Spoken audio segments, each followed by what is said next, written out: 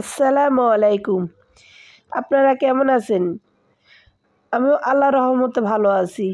আপনারা আল্লাহ রহমতে ভালো আছেন আপনাদের পরিবারকে নিয়ে।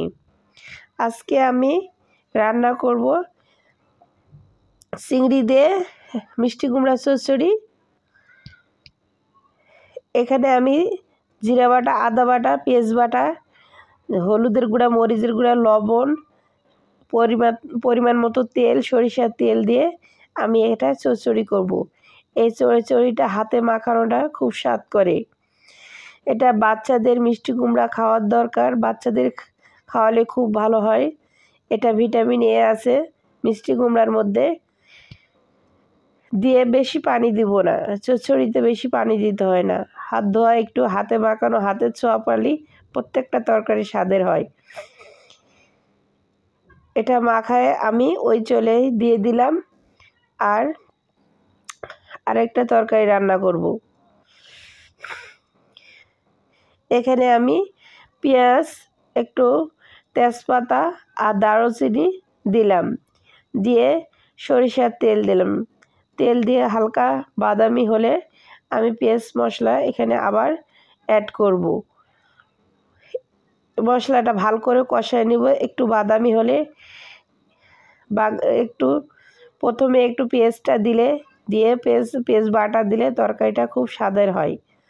তাই আমি এখানে, আমি প্রত্যেকটা বাটা মশলা ইউজ করি। এখানে হলুদের গুঁড়া, মরিচের গুঁড়া, আদা বাটা পেঁয়াজ বাটা, রসুন বাটা, সবগুলো বাটা দিয়ে আমি এখানে মশলাটা ভালো করে কষায় নিব। একটু পানি দিয়ে মশলাটা ভালো করে কষায় নেব। পানি দিয়ে ভালো করে কষাই মশলাটা কষাই নিয়ে আমার ভিডিও যদি আপনাদের ভালো লাগে লাইক করবেন কমেন্ট করবেন সাবস্ক্রাইব করবেন। এখানে আমি মাছ দিয়েছি। এখানে পুকুরের পাঙ্গাস মাছ, দেশি পুকুরের, কারণ গ্রামের পুকুরের মাছ, পুকুরের যেটা পাঙ্গাস, পুকুরের পাঙ্গাস আর নদীর পাঙ্গাস, এই দুটা পাঙ্গাস আপনারা খেয়ে দেখবেন, অনেক মজার। এটা চাষ করা নয়। পুকুরে চাষ করা মাছ আলাদা, পুকুর থেকে মাছ আলাদা। মাছটা আমি ভালো করে কষাবো, কষিয়ে ঝোলের মত, ভুনা করার মতো পানি দিব। আপনারা খেয়ে দেখবেন ভালো লাগবে। পুকুরের পাঙ্গাস খেতে অনেক সুস্বাদু। এটা বাচ্চাদের জন্য খুব ভালো। বা এই মাছের কাঁটা কম, বাচ্চারা খুব পছন্দ করে। আমার মেয়েরা তো খুব পছন্দ করে। খুব মাছটা ভালো করে রান্না করলে খুব সুস্বাদু লাগে।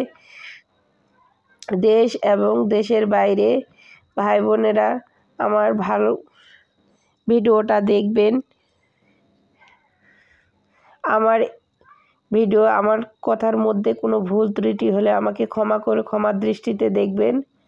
আমি এখানে মাছটা কষায় নিয়ে একটু হালকা পরিমাণ মতো পানি দেবো। আর ওই চুলায় আমার চচ্চড়িটা হইতেছে। দু চুলাই দুদিকে দিলে তাড়াতাড়ি রান্না হয়ে যায়। আবার অনেক কাজ থাকে, সেই কাজগুলো করা লাগে। এখানে আমার তরকারি হয়ে গেল।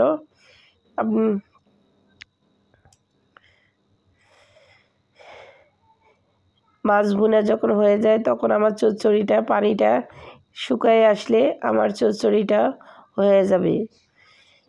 আমার পানিটা শুকায় আছে চচ্চড়িটা হয়ে গেছে।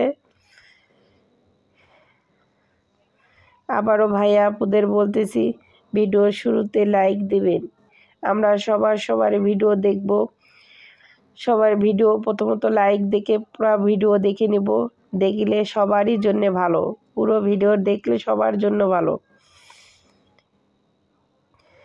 এখানে আমার পাঙ্গাস মাছ ভুনা আর চিংড়ি দিয়ে মিষ্টি কুমড়া, চড়চড়ি। খেতে অনেক দারুণ হয়েছিল। আমার মেয়েরাও পছন্দ করছিল। বেশি কিছু রান্না করলে মেয়েরা খায় না, মেয়েরা একটু ছোট আছে এই জন্য অল্প করি রান্না করি। আজকের মতোই। আপনারা ভালো থাকবেন, সুস্থ থাকবেন। আজকের মতো এখানে শেষ।